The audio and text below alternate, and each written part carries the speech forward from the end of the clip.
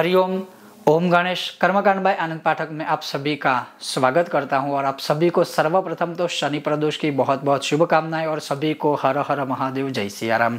अब शनि प्रदोष के विषय में जो मुख्य रूप से नाम है भगवान शिव के, उन नामों से आप प्रदोष के दौरान, प्रदोष के व्रत के काल में पर्टिकुलर अनाज है, अन्न है, धान्य है, उसको भगवान शिव के ऊपर अर्पण कर सकते हो और वह अर्पण करने से क्या क्या लाभ होता है? वो सारी चीज़ें आज मैं प्रैक्टिकली वीडियो के माध्यम से, विषय के माध्यम से आपको बताऊँगा, दिखाऊँगा। अगर आपको आज का यह विषय वीडियो पसंद आए तो लाइक करें शेयर कर लाइक करें शेयर करें। चैनल पर नए हो तो सब्सक्राइब अवश्य कीजिएगा। तो सर्वप्रथम मैं आपको ये बता दूँ कि यह जो शनि प्रदोष है तो यह शनि प्रदोष जो है इस वर्ष, अर्थात इस बार छह तारीख को है शनिवार युक्त प्रदोष है इसलिए इसे शनि प्रदोष कहा जाता है। दूसरी बात कि यह जो प्रयोग है आप सुबह से लेकर छह तारीख को, शनिवार को सूर्य उदय से लेकर दूसरे दिन सूर्य उदय के तक किसी भी समय आप कर सकते हो।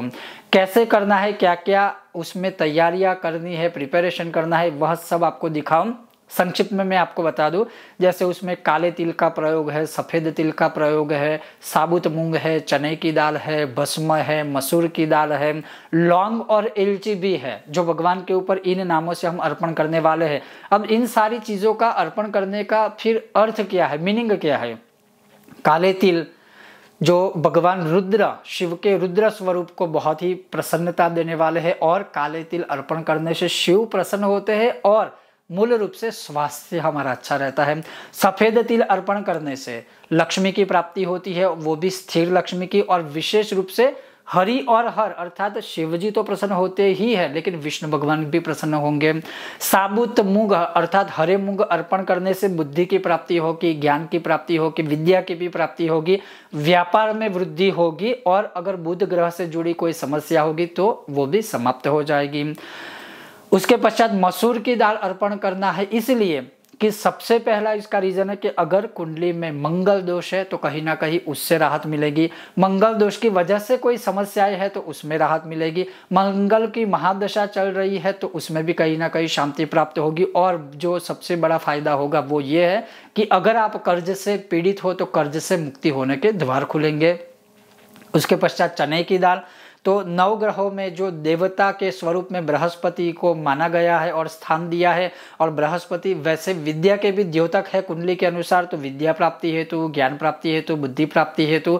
हमारे पूर्व जन्म के कर्म की वजह से भी कई कई बार कुछ कुछ दिक्कतें होती है तो उन दोषों से भी मुक्ति प्राप्ति हेतु और सर्व प्रकार से बृहस्पति देवता की खुशी के लिए चने की दाल अर्पण की जा सकती है, कि जैसे हम करने वाले हैं। भस्मा, जैसे भगवान शिव को तो भस्म बहुत प्रिय है और भस्म अर्पण करने से भी ऐसा कहता है कि चुटकी भर भी भस्म शिव जी के ऊपर अर्पण करें, हमारे सभी पापों का विनाश हो जाता है।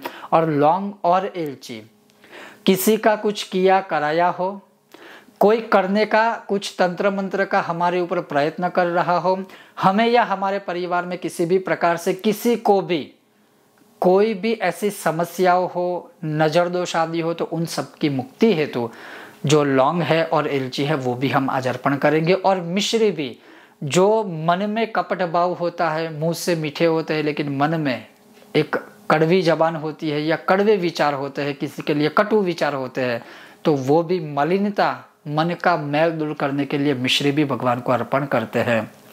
अब ये जो है ये करने के लिए अधिक कुछ करने की आवश्यकता नहीं है, विशेष कोई संकल्प भी करने की आवश्यकता नहीं है। संकल्प में आपको जो आपकी एक अच्छी कामना हो, भगवान से सिर्फ़ यही प्रार्थना करनी है। सर्वप्रथम आचमन करना है, जैसे तीन बार जल लेकर पी जाइए, चौथी बार हाथ धो दीजिए। उसके पश्चात भगवान शिव को नमस्कार करके, जो भी मन से संकल्प हो, खास करके यह प्रदोष व्रत मैं कर रहा हूँ या कर रही हूँ, उसकी पूर्ति हेतु, हे शिव जी मैं आपको इन नामों के द्वारा, आपके नामों के द्वारा यह अर्पण करूँगा या करेंगे, या फिर आपकी कोई कामना हो, जैसे विद्यार्थी है तो विद्या प्राप्ति है तो किसी का विवाह नहीं हो रहा है तो विवाह जल्दी से जल्दी शीघ्र हो जाए, उसके लिए ग्रह बंधन की मुक्ति के लिए तंत्र मंत्र बाधा आदि निवारण हेतु, या ऐसे कोई भी चीज़ है, कोई कामना है, उसके निवारण हेतु मैं यह कर रहा हूँ या कर रही हूँ, बस इतना संकल्प करना है। और इसके बाद, अब कैसे भगवान के ऊपर वह अन्न अर्पण करना है और कौन से नाम नाम से, इसमें नाम का महत्व अधिक है। तो चलिए वह शुरू करते हैं।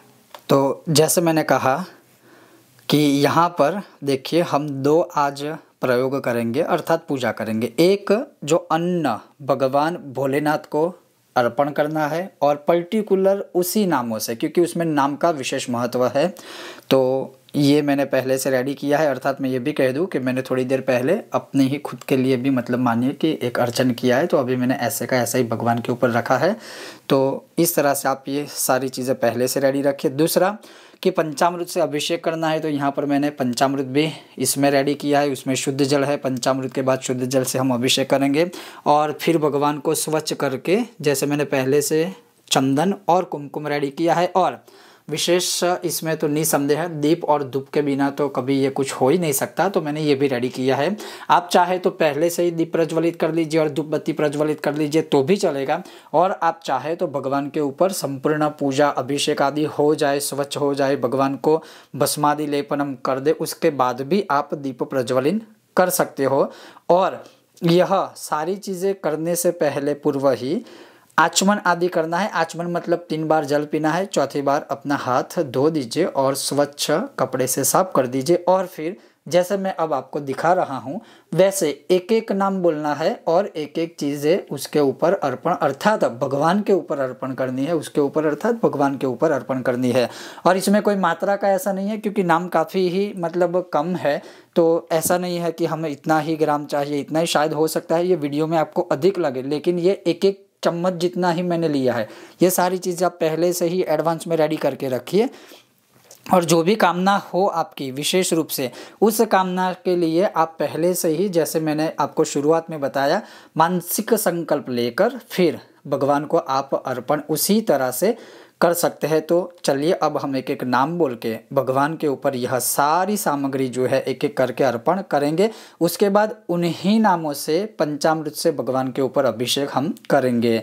तो जैसे सबसे पहले काले तिल लेने हैं और काले तिल ले करके फिर भगवान शिव के ऊपर थोड़े थोड़े करके आप अर्पण कर सकते हो और नाम कम है और अन्य ज़्यादा है तो आप उसके हिसाब से मैनेज करके भी सारी चीज़ें अर्पण कर सकते हो या एक ही चीज़ पे ही भगवान के बार बार नाम बोल के, जैसे मैंने ये तिल लिए, मैंने शिव जी के सारे नाम बोल के अर्पण किए, फिर मैंने दूसरे तिल सफ़ेद तिल लिए, फिर ऐसे भी कर सकते हैं। लेकिन ज़्यादा वीडियो लंबा ना हो, इसलिए मैं लंबा न खींच के सीधा ही, जैसे आपको बताऊँगा। ओम भवाय नमः। इस प्रकार से भगवान शिव के ऊपर सारे काले तीर अर्पण कर दिए। फिर बोलना है, ओम महादेवाय नमः। ओम रुद्राय नमः। ओम नीलकंठाय नमः। ओम शशिमौलिने नमः। ओम उग्राय नमः। ओम उमाकान्ताय नमः। ओम ईशानाय नमः। ओम विश्वेश्वराय नमः ॐ त्र्यम्बकाय नमः। ॐ त्रिपुरुषाय नमः। ॐ त्रिपुरान्तकाय नमः। ॐ त्रिकाग्निकालाय नमः। ॐ कालाग्निरुद्राय नमः। ॐ नीलकण्ठाय नमः। ओम सर्वेश्वराय नमः। इस प्रकार से आप देख सकते हैं, हमने पूरा का पूरा द्रव्य अर्पण कर दिया। मुख्य रूप से इन नामों का महत्व है और ये नाम से ये सारी चीज़ें अर्पण करना हमारे शास्त्र में लिखा है। इन्हीं नामों से आप बिलपत्र भी अर्पण कर सकते हैं। इन्हीं नामों से जैसे अभी हम पंचामृत से अभिषेक भी करेंगे और इन्हीं नामों से मैंने ये द्रव्य भी सारे अर्पण किए और आपने सारे द्रव्य भी देखे। और मैंने आपको बताया कि जैसे व्यापार में वृद्धि हेतु, नवग्रहों की अनुकूलता हेतु, फिर विद्या प्राप्ति हेतु, बुद्धि ज्ञान प्राप्ति हेतु, और जो लौंग और इलची हमने चढ़ाए हैं तो नज़र दोष से बचने के लिए, चाहे वो पारिवारिक हो, चाहे हमारे भगवान के ऊपर भी कभी कभी पूजा पाठ की वजह से अगर हम अधिक पूजा पाठ करते हैं तो किसी ना किसी की भी नज़र दोष आदि लगते हैं तो फिर उसमें भी कहीं ना कहीं दिक्कतें होती है। तो हरे मूंग हमने चढ़ाए ताकि व्यापार की वृद्धि हो, बुद्धि की प्राप्ति हो, कुंडली में बुध ग्रह सही हो, चने की दाल चढ़ाई क्योंकि बृहस्पति है जो देवता है ग्रहों में भी और वो चढ़ाने से भी हमें विद्या, ज्ञान, बुद्धि की प्राप्ति होती है। उसी प्रकार से अक्षत चढ़ाए एक उपचार या विशेष द्रव्य के रूप में जिससे चंद्र बल हमारा जो है वो सही हो, भगवान शिव की कृपा प्राप्त हो, काले तिल चढ़ाए तो उससे हमारा आरोग्य अच्छा रहता है और भगवान शिव भी प्रसन्न होते हैं। सफ़ेद तिल चढ़ाए जिससे लक्ष्मी की प्राप्ति हो और भगवान हरिहर की कृपा प्राप्ति हो। तो इस प्रकार से ये जो सारे, जैसे मसूर की दाल चढ़ाई तो उससे अगर कर्ज है तो कर्ज से मुक्ति हेतु हमने वह भी चढ़ाया। तो इस प्रकार से इन्हीं नामों से यह द्रव्य चढ़ाना है। अब हम इन्हीं नामों के द्वारा, इसी नामों को बोलते हुए भगवान शिव के ऊपर पंचामृत से अब अभिषेक करना है। विशेष और कोई, विशेष और कोई विधि विधान आदि नहीं है। तो अब हम करते हैं पंचामृत से अभिषेक ओम नमः शिवाय। हरिः ॐ ओं ॐ भवाय नमः ॐ महादेवाय नमः ॐ रुद्राय नमः ॐ नीलकण्ठाय नमः ॐ शशिमौलिने नमः ॐ उग्राय नमः ॐ उमाकान्ताय नमः ॐ ईशानाय नमः। ॐ विश्वेश्वराय नमः। ॐ त्र्यम्बकाय नमः। ॐ त्रिपुरुषाय नमः। ॐ त्रिपुरान्तकाय नमः। ॐ त्रिकाग्निकाला ॐ त्रिकाग्निकालाय नमः। ॐ कालाग्निरुद्राय नमः। ॐ नीलकण्ठाय नमः। ॐ सर्वेश्वराय नमः। बस यही नाम बोल के ऐसे पंचामृत से अभिषेक कर लीजिए और फिर शुद्ध जल से अभिषेक करना है और शुद्ध जल अभिषेक करते करते आप ओम नमः शिवाय, ओम नमः शिवाय, ओम नमः शिवाय, ओम नमः शिवाय, ओम नमः शिवाय भी बोल सकते हैं या फिर कोई भी भगवान का मंत्र, श्लोक भगवान शिव जी का बोल सकते हो। जैसे ओम मृत्युंजय महादेव त्राहि माँ शरणागतं पीडितं कर्मबन्धनैः ॐ महारुद्राय नमः नमः। पार्वतीपतये हर हर महादेव, हर। अब भगवान को शुद्ध जल से संपूर्ण रूप से स्वच्छ करके फिर भगवान को हम टीका आदि लगाएँगे और फिर इस प्रयोग, इस विशेष विधान का हम समापन करेंगे। तो अभी आप देख सकते हैं, मैंने भगवान को बहुत ही सुंदर तरीके से शुद्ध जल से स्नान करवा दिया। भगवान को यहाँ पर मैंने भस्म आदि का चंदन के साथ मैंने थोड़ी सी मिश्रित की है भस्म तो टीका भी लगाया। बीच में आप देख सकते हो कि मैंने कुमकुम का भी टीका लगाया है। बहुत लोग कहते हैं कि शिव जी को कुमकुम नहीं चढ़ाया जा सकता। ऐसा बिल्कुल भी नहीं है, क्योंकि जैसे मैंने बहुत बार बोला है कि कुमकुम चंदन लेपित लिंगम तत्प्रणमामि सदाशिव लिंगम लिंगाष्टकम में ही तो हम बोलते हैं ना कि कुमकुम और चंदन से लेपित लिंग होता है, क्योंकि ये शिव और शक्ति दोनों का प्रतीक है। तो कुमकुम चंदन से लेपन किया है। रुद्राक्ष की मैंने भगवान को माला समर्पित की है। और जैसे मैंने कहा कि मैंने गौ माता के घी का आप यहाँ पर दीपक देख सकते हो और यहाँ पर दुबत्ती है। तो कहने का मूल रूप से तात्पर्य ये है कि मूल जो नाम मैंने बताए, उन नामों से ही, उन द्रव्य को अर्पित करें, उसके पश्चात उन्हीं नामों से भगवान शिव के ऊपर आप पंचामृत से अभिषेक करें।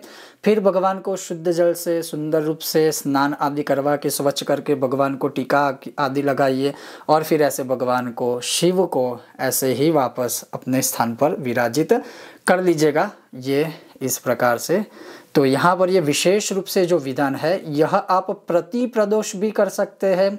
आने वाले इस शनि प्रदोष, जो महान प्रदोष है, उस पर भी कर सकते हैं और सोमवती अमावस में भी कर सकते हैं, शनिवार युक्त अमावस आदि में भी कर सकते हैं। इन शॉर्ट में, आप यही प्रयोग इन्हीं नामों से प्रदोष में अवश्य कर सकते हैं और प्रदोष में यह विधान करना चाहिए। तो जैसे आपने देखा कि हमने भगवान शिव के ऊपर अभिषेक भी किया और भगवान के ऊपर अन्न अर्पण भी किया, क्योंकि ये लिखा हुआ है कि भगवान शिव जी के ऊपर इन्हीं नामों से आप बाद में बेलपत्र भी अर्पण कर सकते हो। इन्हीं नामों से पंचामृत से अभिषेक करना चाहिए और इन्हीं नामों से हमने यह धान्य अर्पण भी किया, जो करने से शनि प्रदोष में तो बहुत ही बड़ा पुण्य मिलेगा। आप चाहे तो हर एक प्रदोष में भी कर सकते हैं और शिव कृपा प्राप्ति हेतु यह अवश्य करना चाहिए। तो ये था आज का एक विशेष वीडियो। अगर आपको यह विषय वीडियो पसंद आया हो, लाइक कीजिएगा, शेयर कीजिएगा, चैनल पर नए हो सब्सक्राइब करके घंटे का चिन्ह दबाइएगा। बहुत जल्द मिलते हैं नए विषय और वीडियो के साथ। तब तक आप देखते रहिए कर्मकांड बाय आनंद पाठक मेरे साथ। ओम नमः शिवाय। हर हर महादेव। ओम गणेश। जय सिया राम।